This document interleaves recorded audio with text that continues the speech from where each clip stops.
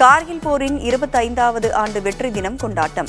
காஷ்மீரில் உள்ள போர் நினைவிடத்தில் வீரவணக்கம் செலுத்தினார் பிரதமர் மோடி.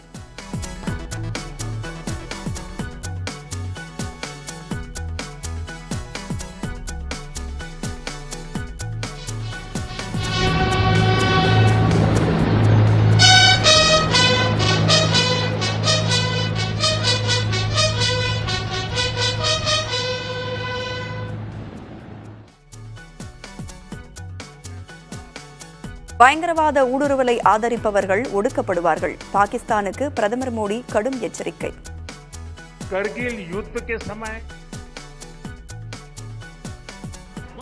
மாநிலங்களவையில் எதிர்க்கட்சிகளின் முடக்கத்தால் அமளி. முக்கிய பிரச்சினைகள் பற்றி விவாதிக்க கோரி கொடுத்த நோட்டீஸுகள் நிராகரிக்கப்படுவதாக குற்றச்சாட்டு.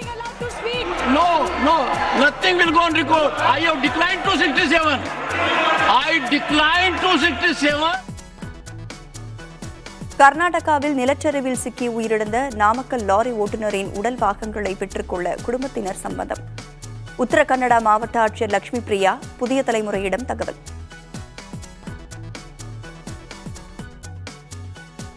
தமிழகத்தில் உள்ள அரசு பள்ளி பெயர்களில் சாதியை பயன்படுத்தக்கூடாது கல்வராயன் மலைப்பகுதி மேம்பாடு குறித்த வழக்கில் நீதிபதி எம் எஸ் சுப்பிரமணியன் அறிவுறுத்தல். மதுரையில் ஓட்டுநர் மற்றும் ஊழியரை கட்டி போட்டு தாக்கிய வழக்கில் ஐந்து பேர் கைது. ஆம்னி பேருந்து உரிமையாளர் உட்பட மூன்று பேரை பிடிக்க தனிப்படை அமைப்பு.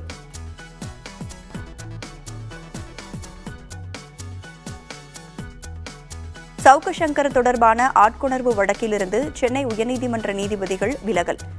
வேறு அமர்விற்கு மாற்றுமாறு தலைமை நீதிபதிக்கு பரிந்துரை.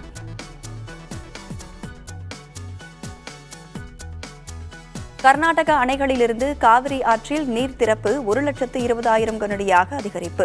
மேட்டூர் அணையின் நீர்மட்டம் நாளை நூறு அடியை எட்டும் என எதிர்பார்ப்பு.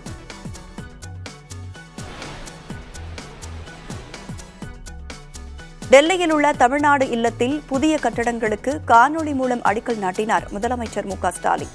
நெடுஞ்சாலைத்துறை பாலங்கள் தொடர்பான வரைபட நூலும் வெளியீடு.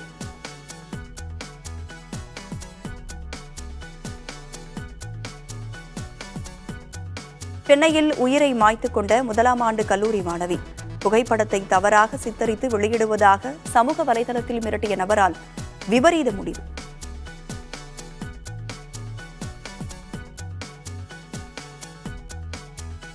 சென்னை கத்திப்பாரா மேம்பாலத்திலிருந்து குதித்து உயிரை மாய்த்துக் கொண்ட இளைஞர்.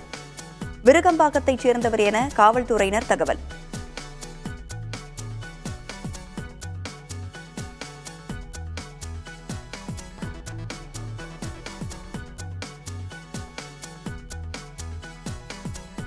மாரடைப்பால் உயிர் பிரியும் நேரத்தில் குழந்தைகளை காப்பாற்றிய வாகன ஓட்டுநருக்கு பள்ளியில் அஞ்சலி. மாணவர்கள் ஆசிரியர்கள் உள்ளிட்டோர் மலர் தூவி மரியாதை.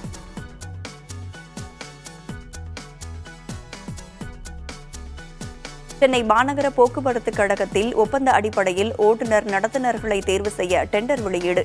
அடுத்த மாதம் இருபத்தி எட்டாம் தேதி வரை விண்ணப்பிக்க அவகாசம்.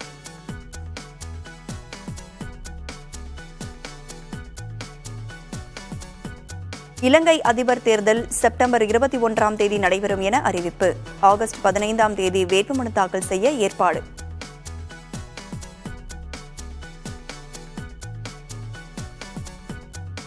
பாரிஸில் இன்று அதிகாரப்பூர்வமாக தொடங்குகிறது ஒலிம்பிக் திருவிழா.